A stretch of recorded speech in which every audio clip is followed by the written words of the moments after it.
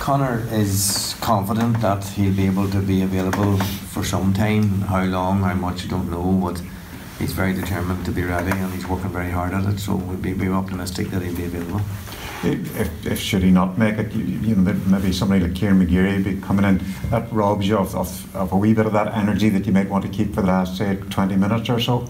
Yeah, that's that's one of the sort of the conundrums of life in Gaelic football at the minute. You know that there are people who will start the game. There's people who are good to come in and, and exert a real positive influence on the game. Uh, Kieran McGeary is definitely one of those players. Um, so yes, it, it, it, does rob us a bit of that if, if he if he has to start.